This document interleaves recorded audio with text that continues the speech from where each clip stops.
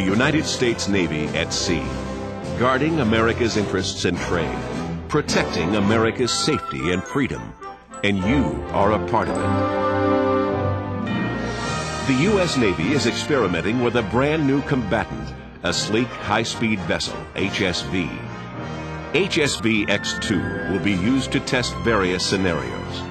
As an example, today your orders are to penetrate, reconnoiter, and secure a denied coastal area, conduct anti-submarine and mine warfare, and get ready to deploy Special Operations Forces.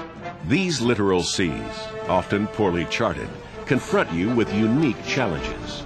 Islands, reefs, and fjords, shallow depths, and a complex acoustics environment. This is a place of many dangers. Your enemy may employ inexpensive, asymmetric weapon systems that include mines, tactical and anti-ship missiles, and quiet diesel-electric submarines lying in ambush. You don't know yet if these threats really exist, but you've seen intelligence reports indicating a potential for danger, and you don't want to go in blind. You need to know what's out there before you take your ship and your crew into harm's way. HSV X-2 can easily deploy the Sea Talon concept, developed by Lockheed Martin's Naval Electronics and Surveillance Systems, Undersea Systems. Lockheed Martin would use small, cost-effective unmanned underwater vehicles that can be deployed from surface ships and submarines standing safely offshore. Stealthy, unseen, and unsuspected, these UUVs can reconnoiter the littoral battle space and send vital data to ship and fleet commanders. These unmanned vehicles can deploy and leave behind sensor arrays for extended surveillance. The HSV X-2 can now launch two remote multi-mission vehicles, similar to the U.S. Navy's ANWLD-1 remote mine hunting vehicle, to take over where the smaller UUVs left off. They can cruise the search area for many hours, even days, at top speeds. Deploying highly sophisticated sonar, they virtually X-ray the littoral battle space.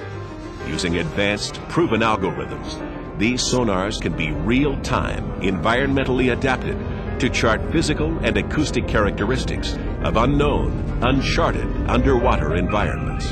On station, these stealthy semi-submersibles can deploy sensors below thermal layers in the water column and using a side-scan sonar, detect tethered mines and seafloor-based mines or using a towed lightweight broadband variable depth sonar, LBVDS, detect lurking enemy submarines. Sonar echoes from these threats are received by the seafloor-based sensor array and also by towed arrays deployed from other UUVs or surface ships. From there, the signals are relayed via unmanned aerial vehicles, surface ships, other aircraft, and even satellites. They enter a sophisticated communications network that connects ship and fleet commanders and command and control centers in real time. As sensor signals flow through the network, data is refined into information Information becomes knowledge as ship and fleet commanders are presented with a common underwater picture, detailed, comprehensive, and updated in real time. The Sea Talon concept enables them to greatly reduce enemy threats, navigate safely in uncharted waters, and deploy their forces with maximum effectiveness. It also allows them to make timely command decisions and fight and win in the littorals. Sea Talon a truly transformational concept and vision. Leveraging existing U.S. Navy investments in commercial off-the-shelf technology integrated into proven, unmanned, inexpensive underwater and aerial vehicles with sophisticated software and networking, the concept can easily become reality in very short order. All its components are now under development, and most are in the final testing stages.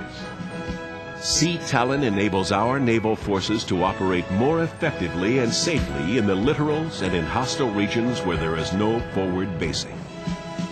Lockheed Martin Sea Talon provides the United States Navy with the best possible underwater detection capability for the foreseeable future.